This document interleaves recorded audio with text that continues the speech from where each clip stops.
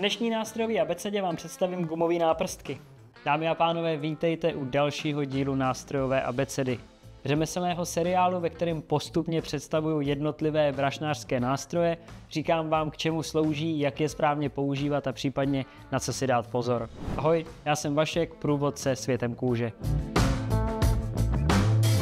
Gumové náprstky u mě najdete ve dvou velikostech, M a L. Jedny jsou trochu užší a delší a jedny jsou širší a kratší. Jak vidíte, tak já ty náprstky využívám na ukazováčku a na palci. Eh, využívám to při ručním šití, abych měl lepší kontrolu a hlavně lepší úchop jehly při vytahování nebo i zandávání ty jehly do otvoru. Ty svaly na těch rukách vám poděkuju zejména u obšívání delších projektů, to znamená opasky a podobně, když jete x hodin. Ale já se přiznám, že si to nandávám i na menší projekty, protože ta úleva a ten pocit z toho, z toho úchopu ty jehly je skvělý.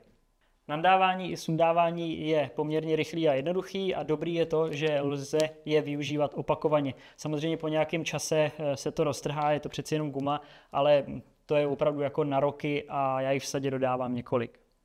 Tohle byly gumové náprstky, které ušetří nejen váš čas, ale i vaše zdraví.